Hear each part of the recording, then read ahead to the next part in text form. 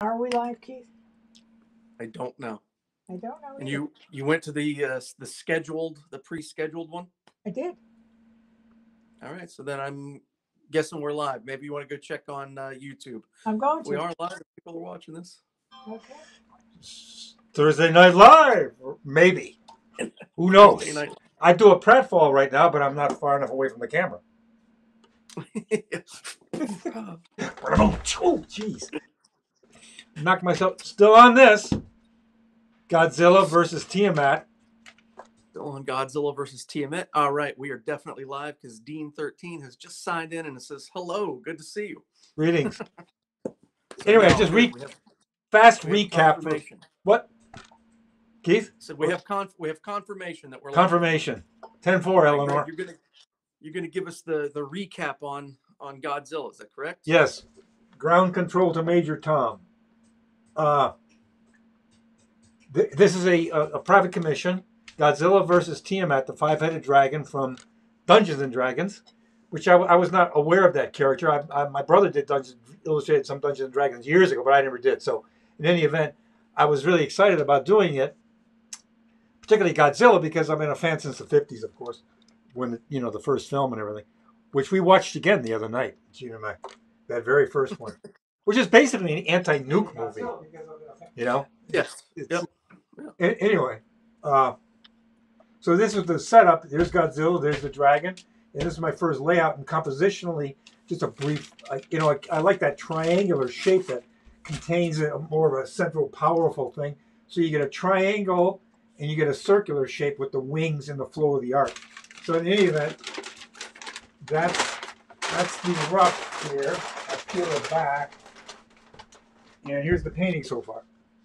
So the the uh, the concept was, of course, Godzilla's atomic blue breath, and the central head of Tiamat, which is here blasting the fire.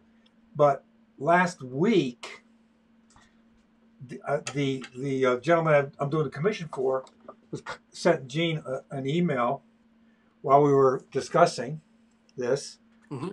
and the way I had the necks structured was this way last week, where the necks meet the body here.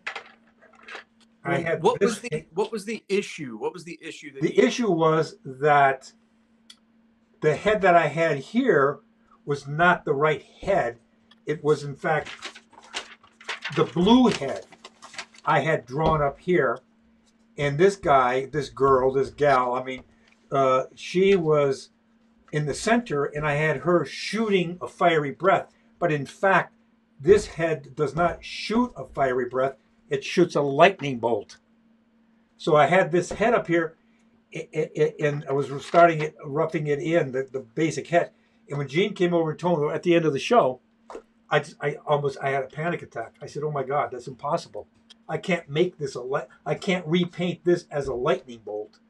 It changes the entire lighting setup that I had in mind. Yeah. It would be totally redundant because it would just be those same colors as Godzilla's atomic breath. So you'd get the blue light, and the blue light, and I absolutely insisted I had to have the firelight. So I said, "Oh my God, oh my God, I got to start the whole damn picture all over again." Blah, blah, blah, blah, blah. I was freaking out internally. And then I think, kind of like simultaneously, the gentleman and we did, I think, if I remember right, my panic, oh, just change the neck positions. So all you do, here was the original neck position. This is the way I had it drawn before. This head, this head, this head. I simply switched this neck to the foreground neck here. You see what I'm saying? yes. See that? I simply made it come here and here. So you didn't have to redo anything. Only just area right here. So this one's behind it now, and this one's in front of it. Which I'm still working on structurally how to handle, you know, get this all looking good. Yeah. But Now, correct me if I'm like when we were talking last week. You know, the one that's under his his arm. Uh, I think the issue came about because you were talking about having like the last gasp of fire, right, and that's incorrect. and No and then he he pointed out that it's different colored. different color. This is a, a, a freezing breath. So it's like I ice, sort of like a icy. This blue guy is the lightning bolt. The main central head is a fiery blast. The green one is a a, a, a, a yellow green uh, fluid, you know, poisonous stuff. And then the black guy over here is is a cloud of dark cloud, you know, like gas or something. So they each have a different, you know, shtick. So here, I don't, you know, there's no fiery blast. I've been futzing around with, and Jean was coming up with the idea of like the, the a blast, you know, like if you, and she got some great reference from me, you know, where you go out and uh, you see people in sub-zero weather shooting a gun of, of hot water, and you see it all Mhm. vaporize, and, and it looks Ah, really cool okay. Yep. maybe something like that. I don't know yet. You know, it, might, it may be too much here. I don't know, but that's a concept. You know that I might do there. The lightning bolt I'm not doing. I'm just doing as as though he's ready to do it with his mouth glowing white because that would be redundant here. I'd have to do a lightning bolt across the bottom here, which would totally screw up all this lighting. The green, I, I chose not to do that. I would just want the long tongue. Maybe I have some green stuff flying off of it. You know, I don't know. We'll see. I'm not there yet. But that's yeah, the could thing. you do something something similar like what with what you're doing in the lightning mouth there where it's like you know the power might just just Started start to- be forming so that it sells the idea right. that that's the green Yep, exactly. So I'll get there when I get there. I'll decide that after I get everything all in here. And but those are you know you you do your main your layout, eh, you know, is all set up already. I don't change that. That's permanent. You know, little stuff will shift, tiny stuff, but then you make those those kinds of decisions. I do anyway. And this, I am in this picture anyway. As as I go, here was the main two light sources, and the light from behind inside. All the fire in the distance, and off to the sides, off camera, there's let light, so you get all the fiery, fiery edge light on everything. You know, makes Yeah. it stand out. So this is, too. The concept is light against dark and dark against light. Here, light against dark, and dark against light down by the bottom. You know, as you see the more silhouetted figure at the bottom, and that that's all kind of in your my head. And I think any of us, right, when we're starting to conceive a picture, you see it through a glass darkly, sort of in your mind, you know? You, you know what you're yep. heading towards, roughly. roughly In a sense, you're kind of like looking at the future. You're, hoping that this will be the future. i liken it to it's you, you have an image there but it's al- almost still in a dream like quality yeah, where where parts of it are fo- in focus but yet it's an overall hazy sort of like a Fellini movie. yeah yeah I love Fellini. Anyway, yeah, where you know there's that. Yeah, it's like that, and then and then you then you start to make it clearer. It's about bringing clarity, right? I mean, you you get your paper and your pencil or whatever you work on. If you work on a computer, and then you it starts to get clearer. And, and each step is like people say, well, once you get to this phase, isn't you've got it. I pretty much got it figured out. Isn't that kind of like tiring at that point? Well, not really, because you're still gaining clarity all the way to the final end of the painting. You know? Yeah. It's it's making Now- it. Now with you know with with this image and you were able to come up with a, a pretty clever but a pretty straightforward resolution to solve your problem right? Like oh okay i just like, switch the next. Yeah. and and the issue's solved. Uh have you i'm assuming you have but have you come up against something like that in your career of where you were given information pretty far down the line or that you missed information and then were reminded of this information like this you know Yeah. Yeah. I know what you mean. and- I can't remember. Truthfully, I can't answer that. Maybe you could remember. I'm sure. I just don't remember. I think not since working with Jean. Let's put it that way. Since not for the last 40 years, because Jean is the one that gains all the clarity up front. I don't even talk to the client, whether it be personal Yeah. or company or a publisher. Jean does all that, and that's great for clarity because she's she's she knows very exactly detailed yeah, she Yeah. she knows my work. She knows me. She knows the business. She knows she's great with communication with people. The- it- it's all about get, getting clarity up front so that everything is all set, so that there's no Yeah. surprises as you get into it. And she has structured many contracts in the past for me that if there are changes, that you know there whatever I remember what the hell was it? There was some oh a guard the the islands of adventure in uh, the game you know the uh, in Florida. You know we were At Universal, right? Universal doing a bunch of posters initially for the, for them before the rides were even finished, and they kept adding and changing all the way along. And Jean's contract read that they would each change or increase would be yay much more money, you know, because that that's the way that worked. And that's kind of like the way she we she does every contract. So no, I there's not too many surprises as we get down the line. There may be personally for me as the artist painting it that the decision I've, I've made how to handle like this kind of thing, you know, little, but that's stuff that you can. I've always been able to figure out, you know, is you just you just do it. Some you make it work somehow. You know, So you've never had to. uh Have you ever just like you know what? I gotta, I gotta scrap it. Oh yeah, yeah. Scrap Oh my it. God, yeah. I mean, and that's less and less and less as time goes by. But younger, yeah. Uh, you know, because you're you're in white space most of the time when you're younger. You know, you you you you're walking into the unknown land. You don't know what the hell, and you're learning and you're making. You know, you're figuring out as you go, and sometimes it just ain't ended up right, and starting all over again. You know, many times in the past. Yeah, I uh, I, I just had to to scrap an image uh over the weekend that I'd I had been working on, you know, off and on for a, a, a couple weeks. You know, not a lot of solid block time, but just picking it up and and tinkering on it. And in the initial stages, everything looked pretty good in the drawing. You know, um, I had the figure was from kind of the waist up foreground projected image, right, with a relatively low horizon line Yep. at a, at a tilt. Um, So you're looking up more or less. Can't, yep. kind of yeah. low camera And- angle. But what I ended up hating is that all of my background stuff, because then it became so low in the picture plane, ended up crashing forward. Oh, I see. Okay. and I had no means of pushing it back other than color value, but still visually everything just seemed Yeah. right there. And so I made the distinction to just uh, I'm gonna scrap it, rework that horizon and background so I can push it back, Yeah. and then and then have another go at it. Don't you hate that when that happens? I do, I do.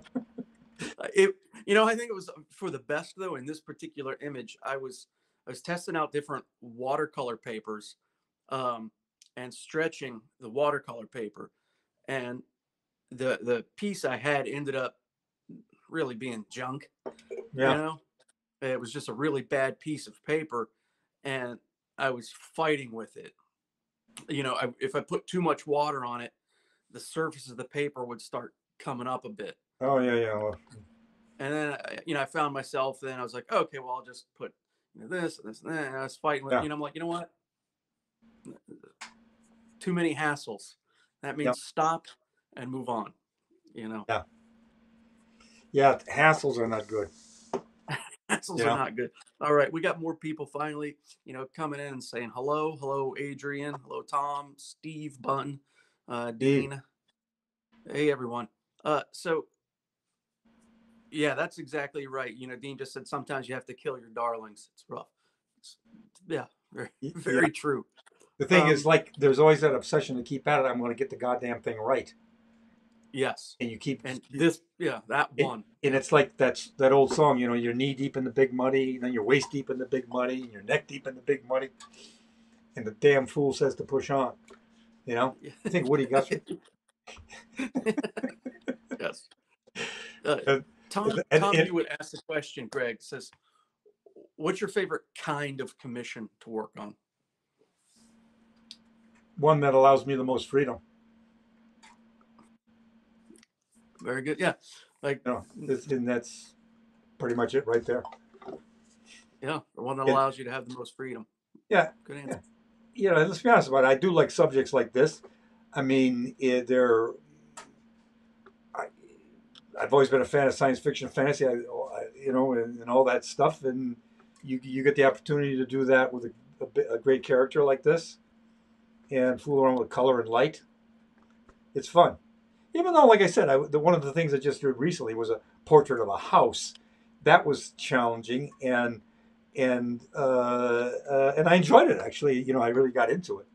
You know, and that was one too. I think we discussed discussed that months ago though already, where I made a big blunder. I finally got to the shadow color of the house, and it's like, oh my god, and nothing was Yeah. working. Jean came in Yeah, and solved that one for me. It's it's amazing that sometimes it's that singular puzzle piece. Yeah, and it's something so obvious in your mind. You think, well, I've done this a million times. What the hell? You know, sometimes it's shit doesn't work out right. Excuse my English, but sometimes the, it's it's interesting. I think that you look at an image that may look like this is going to be vast and and and, and difficult and problematic, and, and a lot of the times that ends up much quicker and faster to the point than something that's much simpler sometimes. Yeah. And I'm not Okay, sure yeah. why that happens, but sometimes that happens. It's weird. it does. Uh, so I'm gonna draw on my memory banks here and pronounce Adam Chiat. Hopefully that's the correct pronunciation of your of your last name. It says, do you have a favorite era Godzilla design? Well, look at I mean, I like them all nostalgia. You know, we just like I say, wa- Jean and I watched the 1954 original, and you know, we all know what what the original appearance looked like and everything. I like I like this new guy. I mean, the digital. As much as I'm still like, um, you know, I, I love 3D construction stuff when it comes to special effects. I mean, that's what I fell in love with as a kid, and I still do. So I have a propensity towards that, liking it because it's a costume that somebody's wearing physically, you know. Mm-hmm. And but still, I like I like I, the, the the design of this new one, and his, the way he comes off, his personality. So yeah, I mean, uh, I I like doing I I love doing this. It's the first one I did, and the only one I've done. So I don't know. I mean, I may do some other ones. I may do different periods. I'm not sure, but I do like this guy. You know. Yeah, the, the new one. I mean, obviously, other than being updated for modern times, Carrie they did a great job getting a very menacing, aggressive look. Yeah. You know, Those great close-ups, the eyes, fantastic, Very incredible. I mean, it blows. Like I say again, you know me. Uh, you you know, I'm still you know from another era. I computers still special effects in film now with the computers just blow me away. To me, it's magic. It looks like magic, and I and I fantasize like what over seeing the new one, the Kong versus Godzilla, and I always do with these new digital ones. I sit there, I'm sitting there watching it, imagining sitting next to George Pal, whom I met, who was the producer director of When Worlds Collide, Destination Moon, The War of the Worlds, I think the apex sci fi alien invasion movie, The Time Machine. And he was a special effects master, expert of his era. And, and or any of his his special effects guys that he worked with, John Fulton, who did the special effects for Paramount. He did the Red Sea opening for DeMille's Ten Commandments. I imagine sitting next to one of these guys, watching mm-hmm. this digital stuff on screen and thinking, what the hell's going through their minds as they watch it? It's like, how the hell was that done? Look at that water. Well, the camera's moving through all that stuff and buildings and people and monsters falling and it, look at the. I could just see them freaking out because I'm, you know what I mean. That's what I would yes. be just totally flabbergasted. Like, what the hell is this? And I mean, Now it's all just commonplace, and generally, I mean, it pisses me off when people say, "Oh, that old stuff." Look at you; it's really cheesy. You know, not realizing these are genius people on the set improvising and coming up with this stuff. You know, on a moment's give me a a, a building blowing up with a ray gun shooting at it. I need it tomorrow. My, you know, Yeah. run home, run the shops, try to find stuff, piece it together, figure it out. You know, Working with the materials and the technology available at the time yeah, under time constraints and budget. incredible. You Yeah. stop and think like uh, George Pal's time machine. I think he brought that in for under a million dollars, and that was 1960. And even 1960, that was that was not a big. I mean, that was a very very small budget because he knew ex- he was very well planned. He knew exactly how to make a film, how to structure it, not to overdo anything. There was no ego involved, you know, and Yeah. boom, uh, those people are were masters, you know. Well, not not to say that the present contemporary ones are. I'm talking about the attitude of viewers who kind of like have a you know that state of mind. All the old stuff, yeah, it's so cheesy looking, you know. Yeah, well, I mean, that's a that's a common occurrence in any uh, genre of of Yeah. art. You know, whether it's you know you know music, you know, Yeah. people that only listen to modern pop that Right. can't understand classical music, you Right. know, or or Yeah, big band era or whatever. You know, yeah, yeah, there's always always that that viewpoint of the old is bad. yeah. You know, Yeah, that's No. why they had to. Ch- that's why they had to come up with the phrase "senior citizen," because it's not good to call a person an old person. You can't say that. you can't say that. That's like I always found that so goddamn offensive. I'm 82. I can talk. You know, I find it Yep. offensive that you have to call old people like me. Oh, he's a senior citizen. Like you have to. you have to put this label on it. Like you can't say old. Like old is bad. Well, what the hell? Are are the young people junior citizens? How come nobody calls them junior citizens? you, you know, it really is an offensive phrase to me. It's like old is not good, which is a crock of shit.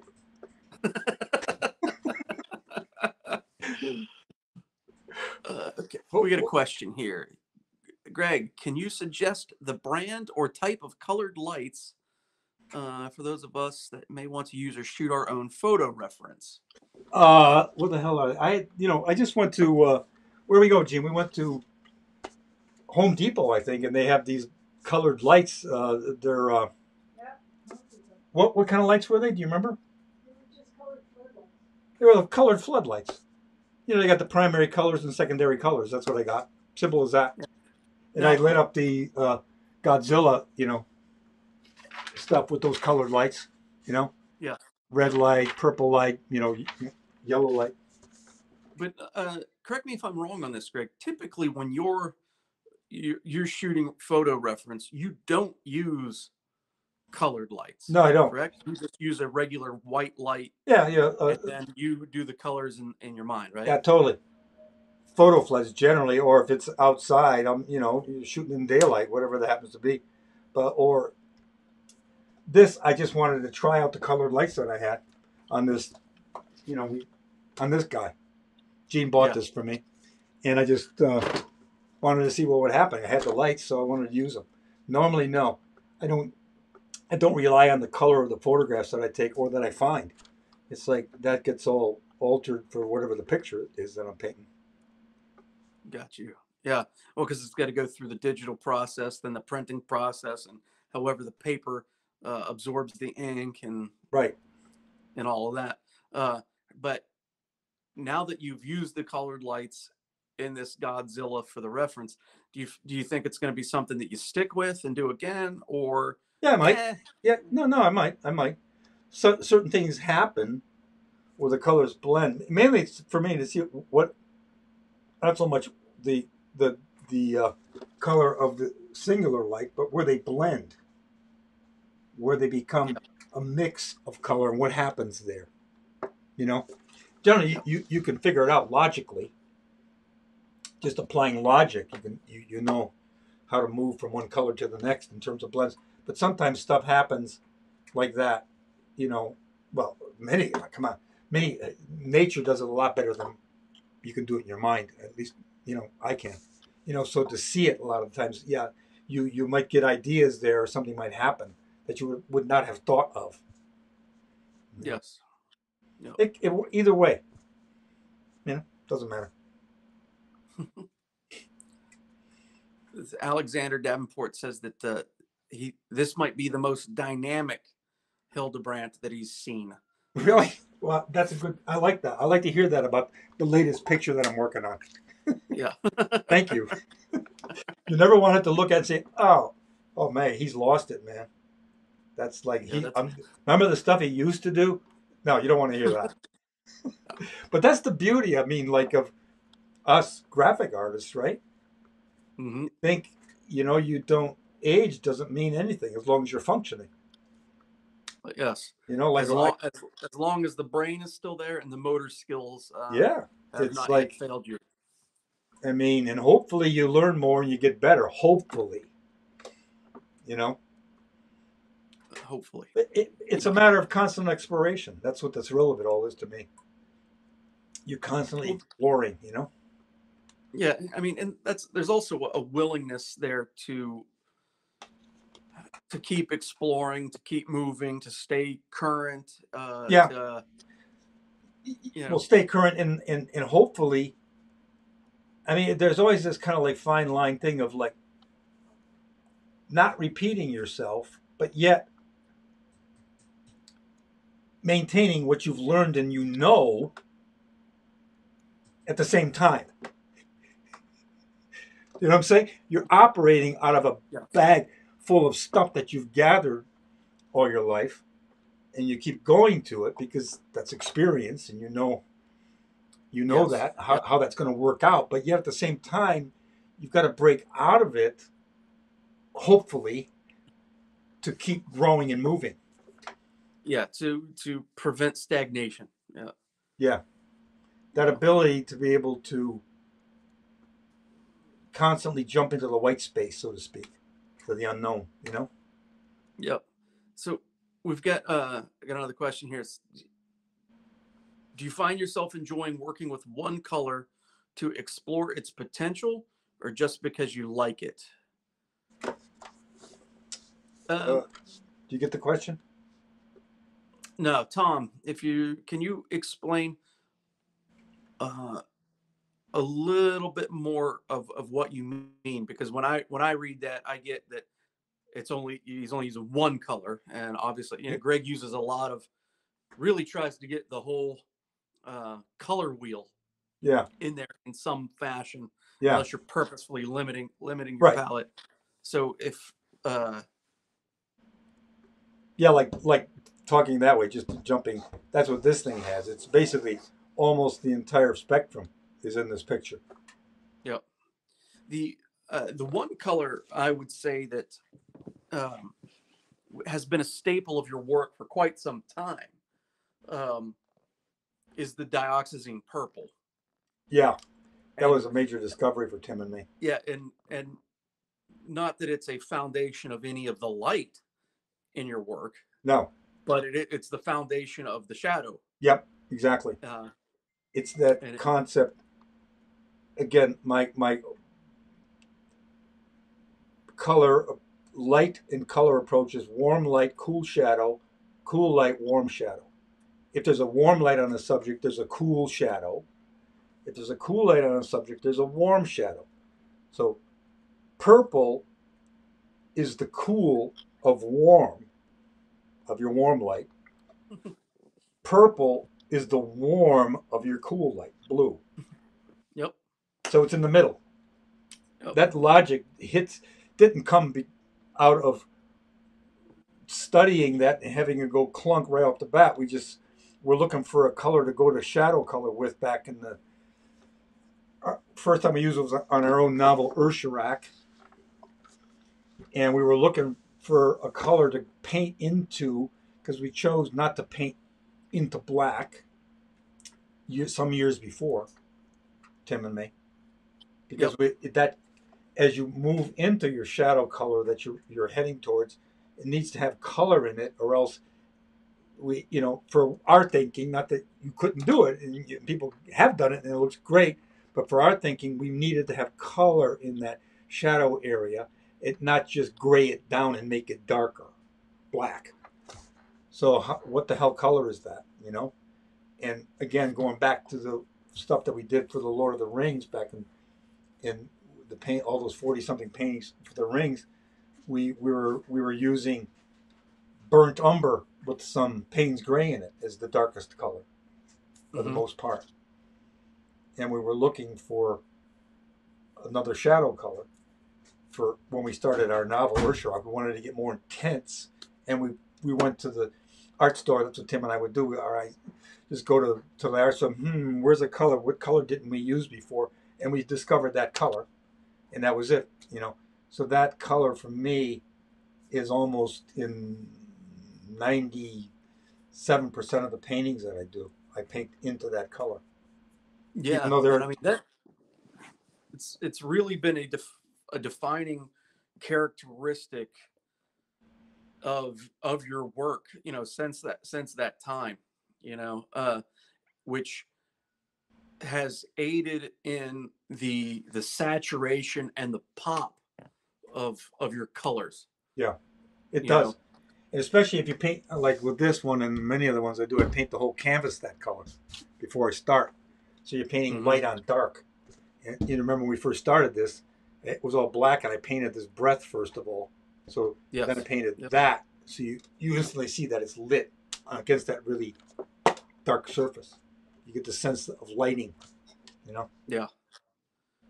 I could never figure out when you go to the museum, the Met, and see, or the reproductions of the old standard, I guess it was, where you would wash it all in with burnt umber or something. It's an underpainting. Yeah. yeah. And you know, you'd go and you look at I don't know who Velasquez or and you see exterior sky and there's brown in it because it was all underpainted in brown. And you're th- I'm thinking it wasn't until the so-called impressionists that you know let's get truth to nature. Yep. You know, Boom. kind of like thing. But yeah, let's go out. There's a sky. There's no brown in there. I mean, unless you want to paint a polluted sky, you know, that's another story. but you know, ju- and it was always that brown. You know, it was always kind of weird to me. Could never quite get that. yeah so we gotta um so yeah tom hopefully that other other than that purple i don't think that you've ever focused in at least in your commercial work that i know of focused in on like you know what i really want to explore the nature of red or anything like that it's come from a much more practical Well, no, here I. Now that we're talking, I'm thinking I have tried different things out. When we, Gina and I first started working together, and and she was repping me, and we did the first book that she repped for me was Charles Dickens' A Christmas Carol.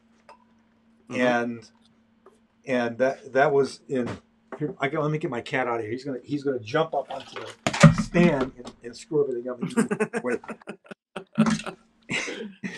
And and with the Christmas Carol, I was trying different colors out to go into the shadows. In fact, I think on some of them, if I remember right, I was using dark uh, phthalocyanine green with I think purple in it paint into Okay. the shadow, like the Ghost of Christmas Present. I think when Scrooge comes in, and he's by the fireplace and stuff. Whether it worked Yeah. or not, I don't know. I can't, you know. And I might look at it now and say, "Oh my God, that's horrible." But Yeah, they, those they, they look great to me you try different, and then of course, yeah. Then when we did Dracula, I made a we did we I illustrated. Jean was publishing. She had a publishing company, and we were going through public domain books that we both loved, stories, mm-hmm. and I would illustrate them. And when we chose Dracula, Bram Stoker's original, and Jean would always find a first edition and print the text from that first edition. And in this case, I made a conscious decision to go against my previous thought that I won't use, I won't paint into black as a shadow. I consciously used black and not purple for that. But I, I had to fit it into my color theory of warm light, cool shadow, cool light, warm shadow. So I always thought of it as a color in that Yeah. particular breakdown, you know? Yep. Yeah. I can I'll quote Bob Patillo uh, from back in the day. Sometimes Wow. black is black. Sometimes it is. So Yeah. we, I get we got a couple other like good good questions coming in here, Greg. Um, which I'm going to see which one to address first because I do want to talk about each of these. Um, I think this will be the quickest one. I can hear your roosters. Yeah, there, there's the squirrels jump on the line of the bird feeder, knock the feed to the ground, and now the roosters come up and eat the bird feed off the ground. So there, I had a bear take it down the other night. really? Oh my God! Yeah, it stood up on its hind legs, reached up, and just grabbed. Just it, they yanked pull them down, man. They just. Yeah. So uh, Mario Lagrange here said he is about to paint a 3D mural on a wall. He typically works in oil paints, but he has to use acrylics for this job. Mhm. Any major tips for acrylics to help him avoid frustration? I can't. I've never painted. I tried oil painting only once, and and Yeah. to avoid that frustration, I started with acrylic. I kept up with acrylics. I couldn't. I can't. To me, No, I'll give I'll give you two two practical ones that that from Greg. Uh, the Tupperware. okay, on- there you go. aluminum foil for you know. So, would you mind grabbing your Tupperware container? So Greg stores his wet paints in Tupperware containers on a just an aluminum foil pallet. Yeah, it makes Right. Airtight. Here, here's my palette for Godzilla's breath, and I and I Yep. spray it down with a you know, uh, but he's talking about oil. mister, right? So yeah, I put spray it down with one of these, you know, and put it in the container, and it stays as long as you want it to keep. I've I've kept working with certain colors so long that they started to get mold on them. Yeah. You know, So- you gotta be careful of that. But uh, now with oil, I don't know. Yeah, keep your oil in these these airtight containers. But as far as mixing your colors, I when I when I tried oil many many many years ago, I I basically took the same approach. I mean that Tim and I had evolved. It was like very. Uh, it was not a loose, globbed up palette. It was very clearly defined piles of paint from the highlight to the shadows, like that. You know, Mhm. Th- this is the the Godzilla breath from the white over here on this side, all the way to the darkest, and we'd keep the pile clear, each pile of paint clear from each other, not mixing them all together and getting up with some under, un, non-understandable thing. So, and you know, and and make sure that you just simply took it from that palette and applied it here in the right order. No. So So I don't other know. than that, I, I'll also summarize because you've over the course of all these live streams, you've given several very practical tips. Again, one, keeping it in the, in the airtight Tupperware container to avoid drying it out. Because if your paints dry out on you, that's going to be frustration. Two, using the plant mister on a regular basis to keep that moist as you paint. as you as you paint. The other one is mixing enough paint to do the job Yes. because trying to remix something is going to be a pain in the butt later. Yep. Keep it if it's for certainly if it's for yourself, that's one thing. But especially if it's for a client, either you know a, a private or, or a publisher, because they may have changes that you're going to have to make. So you better keep Yep. that paint working so that you can you know go back and do that. You know. Yep. I I you know I match colors. I mean people have old paintings and they and they've gotten scratched over the years. And they and Jean gets them and I I'll match the colors and re, retouch them. You know. Yeah. It's it's I, I'm pretty good at remembering all the colors that I use. The thing is though, it, the, the the big difficulty is not so much the color, it's the value because this acrylic dries at a different uh, uh, you know uh, uh, value level as as opposed to when it's wet. You know. Yep. So you have to kind of like figure that or take that into account as you're mixing your paint up of that value shift that's going to happen. You know, but it's all doable. Another question is uh, Alexander. He, he's been commissioned to paint 44 dragons, which is a hell of a commission. And Forty-four. yeah, so what's your what he's asking? What what's your biggest gig? The longest the biggest gig. Uh,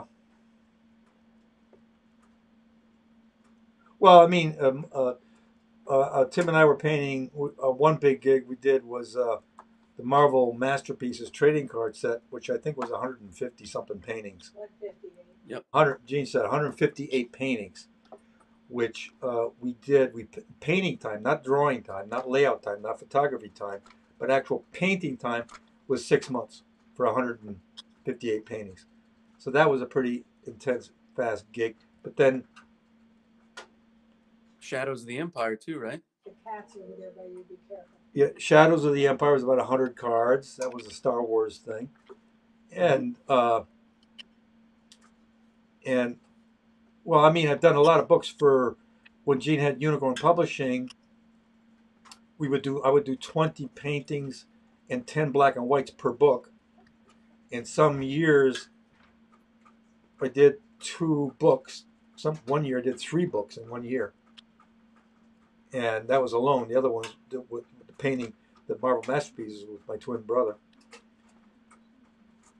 Terry and the Pirates was a daily Sunday strip that Tim and I did while we were doing the Marvel masterpieces set, which was a realistic strip of, you know, seven days a week, seven days, seven days of art. I mean, how many days? 100, 365 days of artwork that you had to produce, and you know, the, the, the, plus I've done lots, lots of kids books in the past, way long before got famous for Lord of the Rings.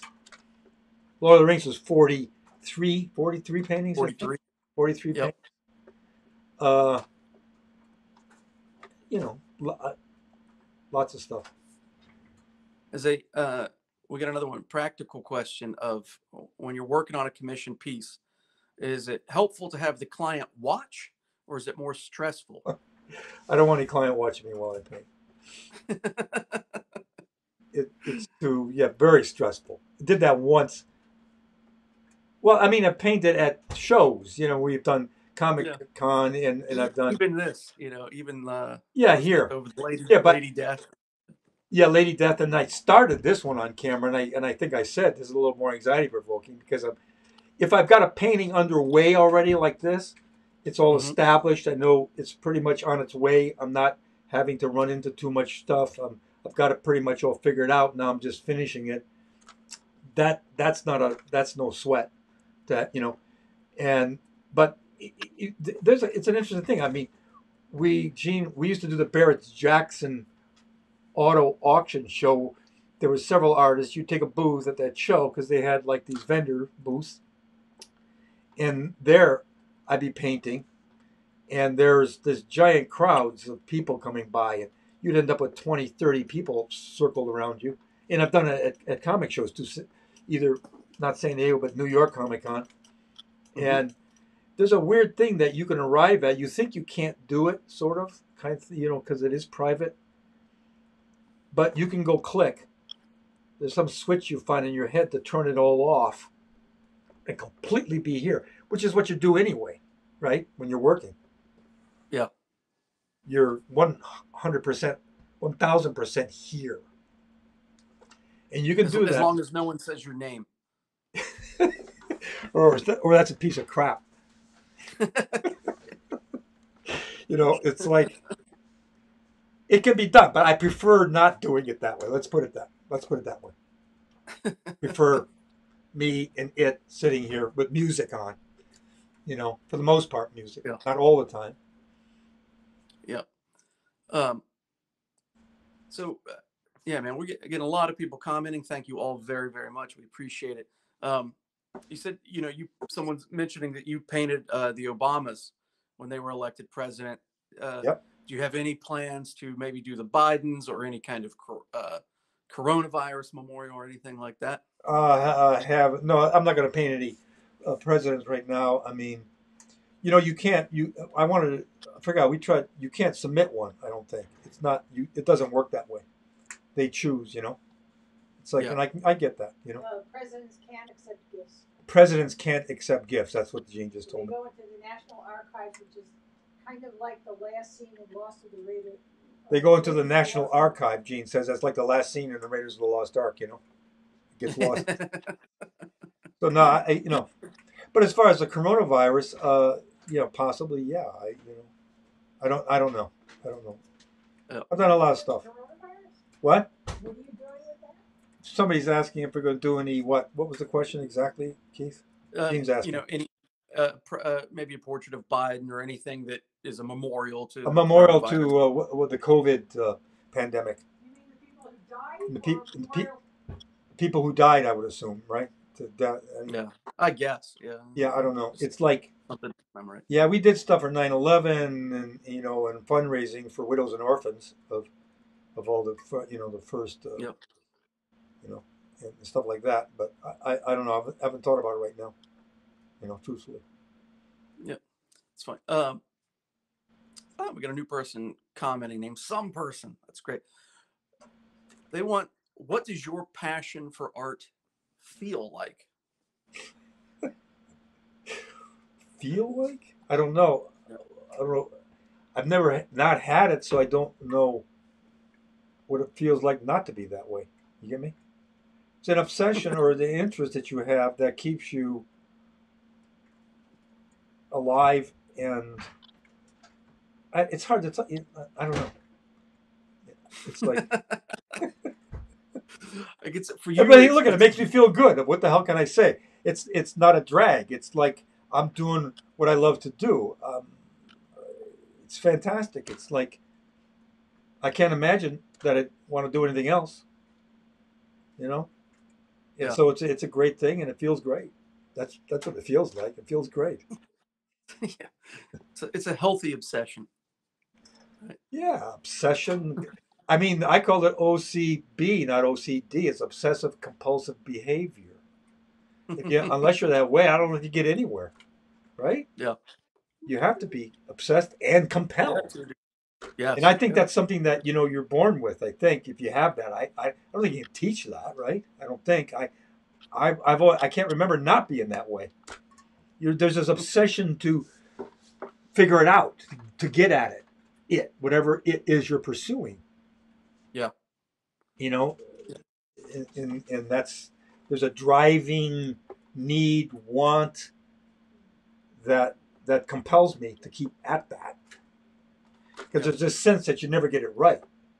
Whatever it is Yes. that it's so it's that carrot that's dangling you know. I used to get really freaked out about that stuff because it most things were dissatisfying to me once i'd finished them. Uh, then finally you get well that's just that's part of the that's part of the process. Dissatisfaction. That keeps keeps me going because i mean i'm going to get it right even though intellectually i know that i'll never reach the carrot. It's always going to be out of reach. But Yeah. but that's the way i want it. I don't want to get there.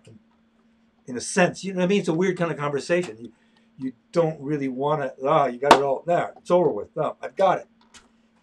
All right now what's next? Now what? Yeah. or maybe that's i don't know whatever Uh, someone's asking. Okay, so uh, do you wet the canvas as you paint? No. No. Nope. That's. No, I guess that's. I I know. I know people have done that. They've they've kept it sprayed so they keeps keeps it wet and working so they can smear stuff around. No, I mean I I don't. You you evolve a method of operation where you don't need to do that. You know. It's it's like yeah, the only time I've seen you do that is when you're grounding out the background. yeah. I'll, I'll paint the I'll paint this black with a spray bottle just to thin it out because I, I just want a very thin coats of paint. I don't want it to get all globby, and and that that's it. But other than that, no. Because I mean, I I, I don't just paint wet. It's wet. It's dry brush. It's all kinds of stuff that you're, I'm mixing together as I paint a picture. You know. Yep. So it, it I don't depend on it being wet. Uh, I tried I tried an extender once, where you can you squeeze this stuff and you mix your Yep. paint with that acrylic with that, and it extends the drying time. I forgot exactly how long, not a half hour, hour. I don't know what the hell it was. I don't remember. But the stuff Yep. I couldn't get used to it. It had a kind of a weird texture to it that I couldn't get used to painting with. You know. Yeah. Got you. People want to know what kind of music you listen to. I, I earlier today when I started this, when I came down here, I put on uh, Franz Liszt's Dante Symphony. Abandon hope, all ye who enter here. The Inferno, you know. I love Yes. So I mean, I did. That's what I played this morning, and I'll play classical music. I'll play. Uh, primarily, I put I put on a classic rock station, Pandora. Hit the button, Yeah. and, and I'll get a mixed bag of Deep Purple, In-A-Gadda-Da-Vida, or you know, Yeah. Epitaph, King Crimson. I don't, uh, whatever you know. Yep. Um, Not not, not to say that's the only kind of music I like, but I'm saying no, no, helps you you. listen to a wide variety. yeah, I, I like a lot of stuff. Film music, I'm nuts about film composers. I mean, my God, you know, Morricone. I mean, when he died just recently, you put on any one of his, Mm-hmm. any of their soundtracks, any of the greats. It's like a whole symphony in itself. You know. Yep. Do you have any tips for posing your live models? Uh, tips for posing them? Well, I mean, first of all, uh, do your uh, it, uh, yeah. My tip would be get it, work out your pose exactly what you want before the model. You get the model, so that you know you're going to at least get that. Make sure that, and then try to get the model to conform to that sketch that you agreed to, or your clients agreed to, you know, or you agreed to. And then, you know, if something else happens in the process of improvisation, well, just keep shooting pictures. You know, but mhm. it uh, depends on the model. I mean, you get a good model, they'll they'll fall right into it. They're they're they're good actors, you know, and they, and they can act. And so, but I, I don't use professionals all the time. I mean, mainly I don't. I mean, I use who happens to be around. You know. Yep. Grab somebody. come, come here. Stand here. Uh, the thing I will I will add to that, um, just having been around you while you you know you've shot some models and things like that, is to take your time and make sure you get your lighting right. You know, Yeah. I know I know that when I've personally shot models, I felt bad for having them in those poses, and then I've rushed and rushed and rushed, and Yep. then ended up not getting what I needed. Yeah. There you go. That's key. And- I'll, I'll still do that once in a while, you know, because you're you're I'm always aware of the of the plight of the model, that they're they're really you know they're you know it's a tough thing sometimes they're, especially when you're doing superhero type stuff you know, you get them into Yep. these strenuous poses, and it's tough on the person and you're aware of that and so you're kind of rushing through it. Yeah, getting the light just right. Sometimes you don't get a hand position exactly where you want it. Maybe you want it, you know, like that as opposed to the way it ends up like that, you know. So Mhm. watch all the details that you're the model, you know, checking your sketch and, and making sure that everything reads white and, and and is not there's no tangents, you know, like a hand coming over just something a little bit in the wrong way, that kind of stuff. Just be aware of it as you shoot. Yeah. Yep. And so, uh, you know, with that, we're going to start to to wrap up, Greg, because I know that uh, Jean has a conference call that she has to take here in a little bit. Um, so, so we got to wrap this up. But I, I do want to point out to the the people that are on now and watching. Uh, if you weren't on at the beginning, go back and just check out the beginning of the live stream, and uh, you may or may not catch some fumbling around as as we always do because that's kind of just our our shtick at this point, having some kind of technical issue. But uh, Greg, at the beginning of the video, Greg talks about uh, uh, the issue that he had to overcome with with that dragon, and how he had forgotten that the the different heads shot different colored powers, and so he had the incorrect head placement shooting out the fire. So he talks about what he did to solve uh, that issue. Uh, so everybody, you know, if you if you weren't here for the beginning, go back and and do yourself a favor and check that out because it, it is pretty interesting to see how how the painting got to where it is now. Uh, so Yeah, this this picture I'll be done with it this week. This is what our, our third session with this painting, I think. Yep. Yep. And I mean, I could see how far it jumped just from Tuesday when I sent sent out the email and I had the picture of it to wh- to where it is now. Yeah. Yeah, I, I'll, Um, I'll be finished with this in the next several days. So I'll, I don't know what I'll be working on next week, but it won't be this more than likely. You know. All right. Cool. But if, if it's still around, if it hasn't shipped out already, uh, it'd be great to see it We'll take a uh, look all at it. Yeah. up and uh, and anything. But anyway, uh, as as as always, everyone, we we appreciate you coming into the live stream. We appreciate all the comments and and the discussions. Um, it, it makes it so much more fun and, and interesting for Greg to and I to have something else to to converse about. Uh, as always, if you are interested in a commission, please contact Jean at spiderwebart.com. That's J E A N at spiderwebart.com. And to check out Greg's work and to purchase it, visit the URL down in the bottom left hand corner of your screen. All right. So, everybody, have a great night. Thank you again, as always, Greg. And uh, Thank you. See you later, Peace. Thank you, everybody, for Good watching. night. Let me just Yep. turn it off right now. Click there. Well, then leave it there, click, okay, 'cause I got rid of that, okay, stop.